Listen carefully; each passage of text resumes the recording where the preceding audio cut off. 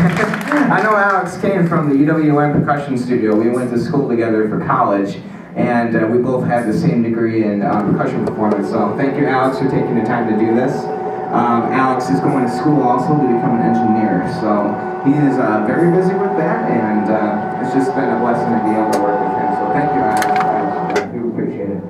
Okay, I think what we'll do is we're running just a little bit behind. Oh, we're going to get started with the first song.